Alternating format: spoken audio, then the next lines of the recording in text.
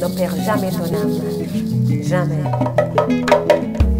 Ile njia ulichagua inapaswa uwe akili. Wako wengi wanatafuta kufika yulu kwa heshima, pole pole, ile ndio ni mwendo. Kupenda mali utakosa